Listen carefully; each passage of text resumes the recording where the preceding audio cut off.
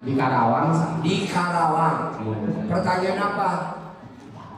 Saya pertanyaannya bagaimana harus bagaimana saya usaha ini lagi jatuh benar-benar jatuh dulu Jatuhnya kayak gimana? Coba jatuhnya gimana? Ada bunyinya nggak?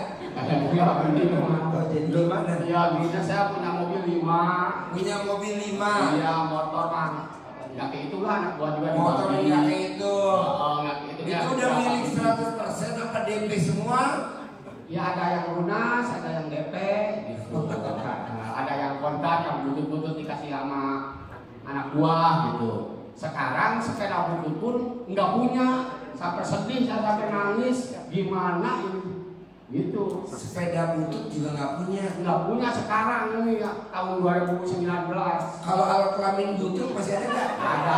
Oh iya, penting itu. Yang penting alat kelamin butut masih Saya ada. nggak solusinya harusnya bagaimana supaya Balik lagi. lagi ya bangkit lagi, Balik lagi, mobil banyak, motor banyak, cicilan nggak ada, utang nggak ada. Utang nggak ada, kalau punya utang sekarang juga bangsa 150 jutaan, Oh iya. Usia berapa? 60-an. Ya pas dah kalau 60 utang 100 jutaan lah.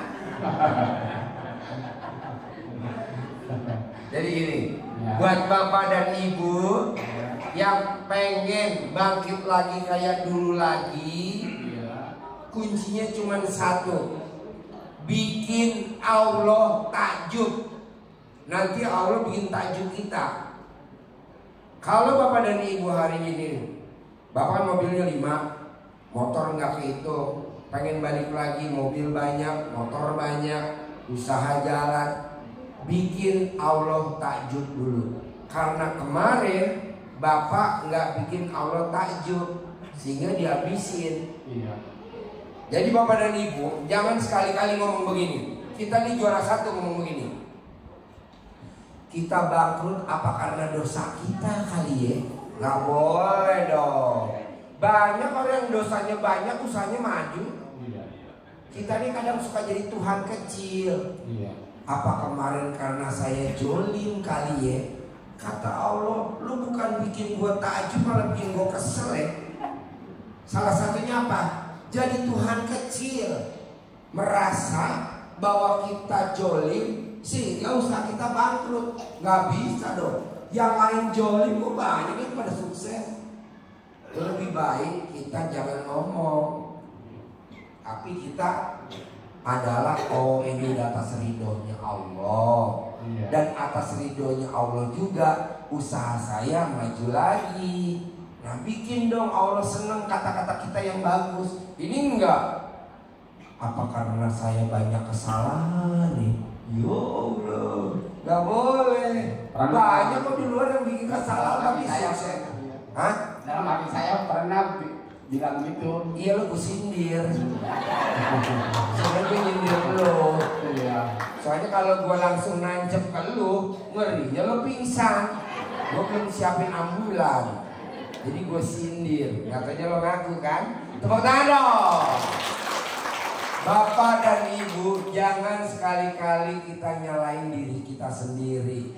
Apa ini karena saya yang nakal?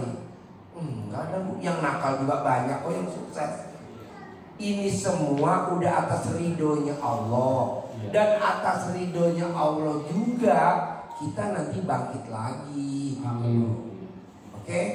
Kan orang kadang ngomong begini, apa gara-gara gua korupsi kali ya? Ya enggak lah orang korupsi juga banyak yang sukses. Kalau gara-gara gara korupsi kata Allah, berarti lo udah tahu dong. Berarti lo udah ngintip dong cara kerja gue. Gak bisa, buktinya megang ketok magic aja cara kerja gak boleh diintip. Mau cara kerja aku diintip. Nah, jangan sekali-kali kita ngucap sembarangan. Jadi yang benar adalah bikin Allah takjub. Iya. Bisa bikin Allah takjub? Insya Allah. Gimana?